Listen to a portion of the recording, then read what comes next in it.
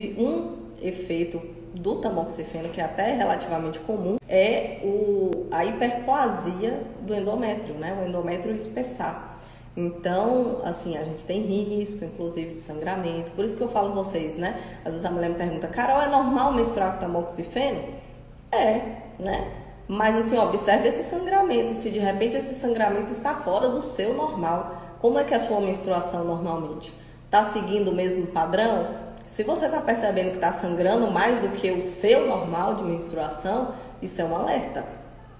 E tem que verificar no exame ginecológico, no ultrassom, né, fazer transvaginal, para verificar esse espessamento do endométrio, se ele está acontecendo, e o médico vai verificando, ó, oh, tá em tanto centímetro, e aí vai acompanhando. Se precisar repetir com seis meses, você repete com seis meses, tá? E vai acompanhando isso aí.